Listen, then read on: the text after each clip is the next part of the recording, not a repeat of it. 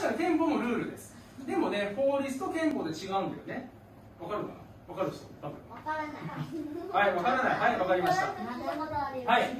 この話はですねあの大学生法学部の大学生も知りません。最初これ。ここからみんなスタートします。はい今日は皆さん分かって帰るからね。いいですか？すごいね。さっき時代先生がね、えー、何か人のものを取ったらこれ何罪って言うんだっけ？人のものを取った場合。えっとはい、犯罪、そうですね。犯罪であり、まあ、窃盗罪。そうですね、窃盗罪っていうところですね。窃盗罪になると、まあ、逮捕されて、下手するとね、刑務所に入ってしまう。これが、まあ、刑法っていう法律になります。じゃあ、憲法って何かというと、これは、えー、この国の根幹、まあ、要は一番重要な、一番王様と言われている法律です。例えば、まあ、言われてね、まあ、有名なのが表現の自由という法律あ憲法があります。これ何かというと、よくね、テレビとかでもね、いろんなマスコミとかがアニメとかねテレビドラマとか流しているよね。でこれは表現の自由というふうに守られてるからこういう報道ができる。個人情報も実はこのプライバシー権の一環としてこの憲法で守られてる。すごくこれ王様なんですでもっと言うとねでこの憲法の中に例えば国会とかね内閣あと裁判所と言われているこの国の一番大事なルールが書かれています。はい。なのでね例えば一番これ大事すごくこれが大事な話をするんだけどもしね法律で皆さんのプライバシーを侵害する法律。例えばもう子供のね顔とか名前住所はもういくらでも晒していいよって法律もし作られちゃったらね困るよね、はい、でももしそんな法律ができたとしてもこの憲法によってその法律が無効にできます。憲法に違反するとその、ね、わけのわかんない法律無効になっちゃうね。なのでこれ一番大事です。これはぜひねお父さんお母さんに今日教えてあげてください。違いは何か。法律はさっきね刑法の話犯罪の話がありました。国民をあの規制する国民を縛るのがこの法律です。いいですか？で憲法は何を縛るかというと国家権力を縛ります。ただ例えば国会議員とかね政治家だったり裁判所とか国家権力もう一度縛ります。なので縛る対象が違うんだよね。法律は国民を縛る。憲法は国家権力を縛ってわけのわかんないことをやめさせるのがこの。乱暴な、えー、その信者さんたちがテロを実行します。テロって知ってます、はい、滝に打たれたりとかするよね。滝に打たれたりとか滝行。そう滝行とかね。あとはちょっとお寺をまあ掃除したりとかいろんな修行がありますがそういった修行をしないことはいけないと。なのでねそういうこういう信者さんたちが修行するためにはどっかに住むことが大事だってことが大事です。で新しいなんか建物を作ろうとしました。この B 教団はお寺を作ろうとした。例えばね分かりやすく言うと。はい。でちょっとねここまで何か分からない人いる？大丈夫かな？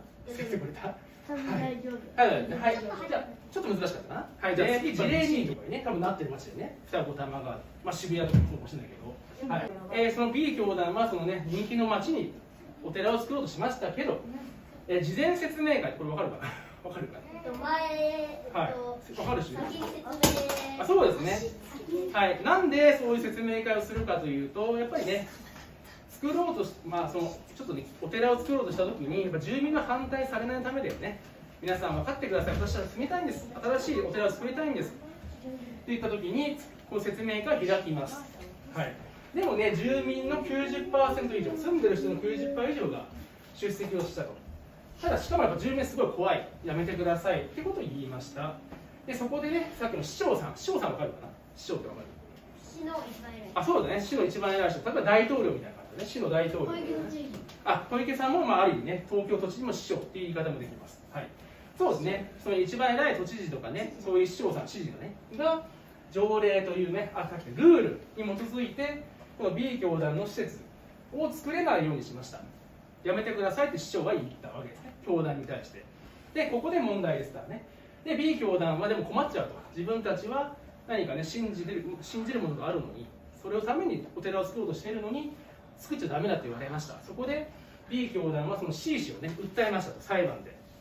で裁判でえこのねなんとか作れるようにしてくださいって言われました。でここまでが事例なんだけど皆さんはねこの B 教団から相談された弁護士です。教団がカルト、まあ、教団さあさっき言った原告はさっき言ったよね。訴える人のことを原告と言います。訴える人ね。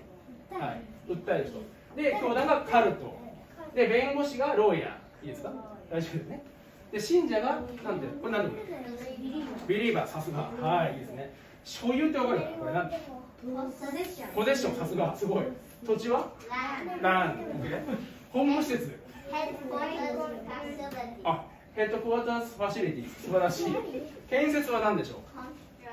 コンストラクションおおすごい。はいお見事でございます。はい。あのね今日ね皆さん後でねチームに分けますいいですか？3チームぐらい分け分けて皆さんがどういう主張をするか弁護士としてどういう主張をするかを議論してもらいます。多分ねこれねなかなか大人解けませんこれ。多分。なんじゃこれ。はい。これがさっきね僕が私が説明した事案、まあ、事実関係でねこういう事実があったよって話しましたね。B 教団 A 教団これをバスからさっきねあの抜粋したのがこれです。本文ですね。でここに書いてあるね、まあ、ちょっと話差し回りますけど実際の質問どういうこと聞かれたかという質問1あなたが B 教団の訴訟代理人つまり弁護士だとすればこのさ訴訟裁判においてどのような憲法上の主張を行うか。さっき言ったね主張憲法ですよね。憲法の主張を行うか述べなさい。これが実際の問題出ました。はい。でちなみにこの説問2っていうのがあるんですけど説問1で、まあ、言われたその原告側の教団だよね。主張に対して C 氏さっき言ったね C 主張の反論を述べなさい。反論した上で 最後にあなた自身の見解つまり裁判官の見解を述べなさい。三者の視点から述べなさいと言ってます。これが実は司法試験を受けましたはいじゃあ上読んでください。十分を使ってはい。主張を考えてみましょう。はい。そうですね。条文というのはこれですよね。これまあさっき言った憲法。憲法というのは日本だけじゃないです。イギリスにもありますアメリカにもあります。中国にもあります。全世界この憲法持ってます。持ってます。で何ていうか読める人これはい Constitution of Japan って言いますよね。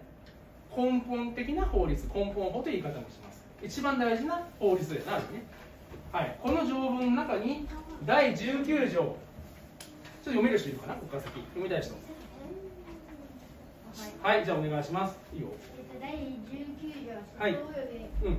両親の自由はこれを犯してはならない。はいこの意味わかる人いるかな？難しいかなえーっとなんなんとなくわかる。なんとなくじゃあどういう感じ？えーっとなんかえーっと人の意見えーっとおよびえーっと自分のうん意見の自由はえーっとうん。えーっとそれをえーっとやめてはいけないうんなんとなく。うん、そうですね、まあ、そういう感じですね、今書いてあるように、思想というのと、良心、まあ、つまりその人が信じていることだよね。人に対しに対して対もこれを保証する。はい、これどういう意味か分かる人います？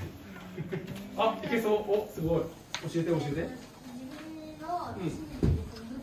うん、その相手が何人いたとしても、うん。うんあの守るはい、そうですね、今すごいもう正解言ってくれましたけど、まあ、さっき言った仏教とかね、これ信じることを誰に対しても保証してあげよう、守ってあげようと言ってます。大丈夫かな、そこ？聞聞いてもらわないと多分理解できなくなるよ。もっとね、大丈夫ですか？はい。そうですね、信教の自由はこれを保証する。これも多分使える条文です。皆さんが弁護士として今日使わなきゃいけない条文の一つだと先生は思います。で、続いてこの下ですね。何人 anyone? ここの保証は？ギャランティー。はい。ギャランティー。はい、じゃあ宗教団体。い、リリジャスグループ。正常正常。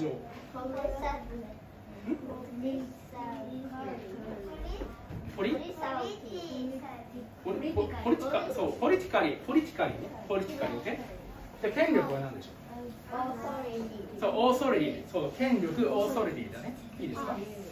はい講師ユースのね。はいこれ大丈夫ですかこれ使う多分英単語だと思うね。政教分政教分離原則と言います。政治と宗教を切り離すっていうのはそれもすごく難しい考えですが大事です。で行きましょう英語。国何ですか？これ country 機関はそう、 institution だよね。宗教的、宗教教育。宗教教育、なんていうの？はい、 religious education。はい、宗教的活動は何でしょう？はい、そうですね。 religious activity。これも多分使うかもしれない。どうですか ?3 分経過。英英語で発表する人を決めてくだ。さい英語でチームを代表する人。ってことはよダメ無理だってこれこれも鉛筆で書いたりしてる彼とかも忘れちゃうから Anyone's space is guaranteed by article うん。20条が憲法だから、うん。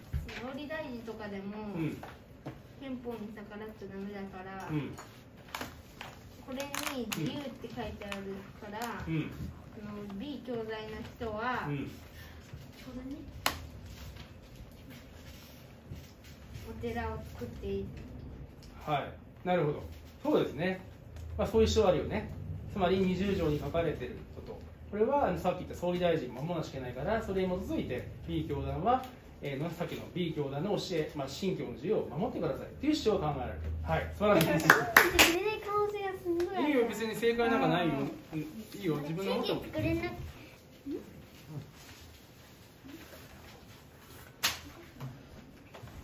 い教団はテロを起こしてはならなかったけれど起こしてしまい、殺人殺人未遂で逮捕されだが反省し治療したいと言っているのを保証するうん。とインフリン人および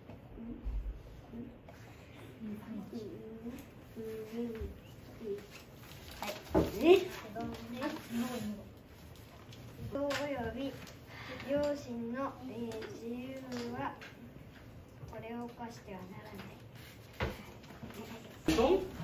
ない、はい、B 教団としてはね信者。そう信じてる人たち。B 教団を信じてる人たちの信教の自由。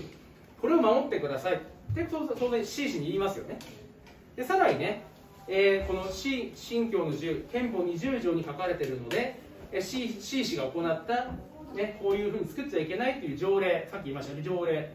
これは、えー無効になるということですね。無効になる結果、えー晴れてね B 氏あ B さん B 教団はその C にね例えば吉祥寺とかそういういいところに教団のお寺とか作れるようになりますだからポイントはね信教の自由を守ってねっていうこととこれに、え憲法に違反するその C さんの C 氏の条例というのは無効になる憲法違反だ無効になります。ってことを主張多分するんだろうね。はい。これが B 教団側になります。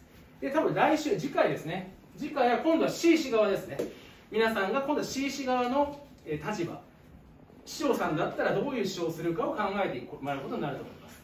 はい、プラス、はい、そう A 原告 A、B 教団の原告、まあ、弁護士とさっき言った来週は C 氏の側の主張。でもう少しね時間あればさらに裁判官だったらどういう判断を下すかですね。ここまでいってこれは多分終わる話になります。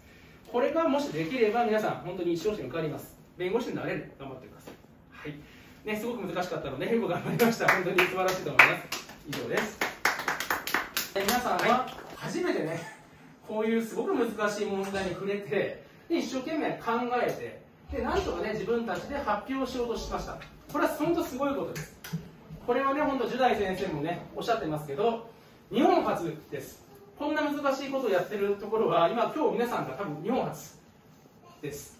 なのでね頭使った疲れたって言ってたけど疲れて当然なんだよねそれは皆さんが一生懸命考えて脳を鍛えた証拠です。はい。